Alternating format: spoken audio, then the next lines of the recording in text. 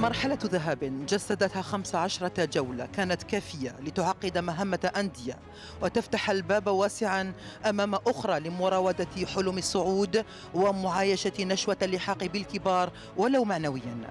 هو المحترف الثاني الذي لطالما صنفه العارفون بأحوال المستديرة أنه أصعب أقوى وألذ من أي قسم آخر.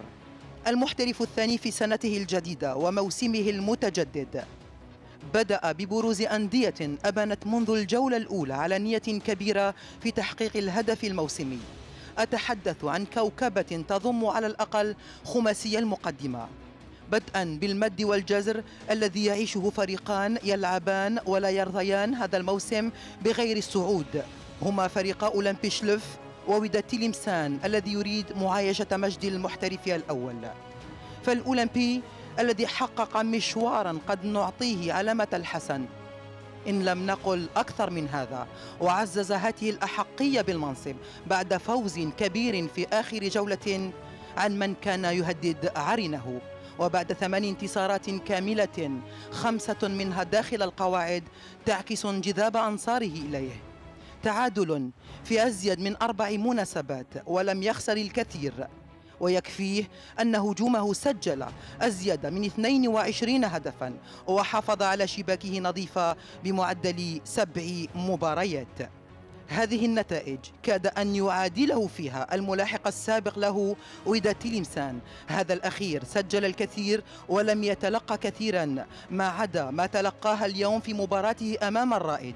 هو الآخر سجل ما فاق العشرين هدفا لكن محاولة لعب ورقة ندية اليوم. هددت طموحه وجعلته يخرج خاسرا وتقهقر إلى الصف الثالث. فهي أندية محظوظة اليوم ولا تقل عنها حظا الأندية التي تلاحقها.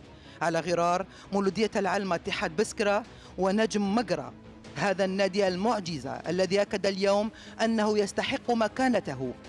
بانطلاقة موفقة متابعة جيدة ثم استمرار واستقرار في المركز الثالث. أندية تحقق انتصارات ويقابلها أندية أخرى تعيش كابوس نتائج لأسباب لم يفسرها العارفون ولم يجدوا لها إسقاطا حقيقيا لما يحدث. نتحدث عن المدارس الكروية التي أصبحت اليوم تعيش مأساة نتائج.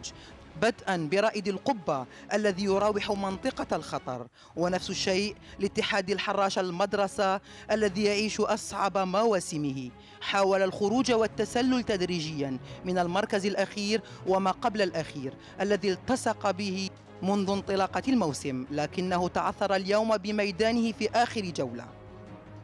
إلا أن هناك من يعاني بكل ما تحمله الكلمة من معنى وحاله لا يسر أحدا.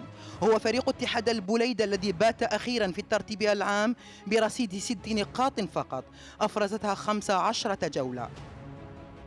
فهل مرحلة الذهاب فعلا هي الفيصل في حال الأندية أم ستكون استفاقة لأصحاب المنطقة الحمراء وجسر ولوج القسم المحترف الأول بالنسبة لرواد مرحلة الذهب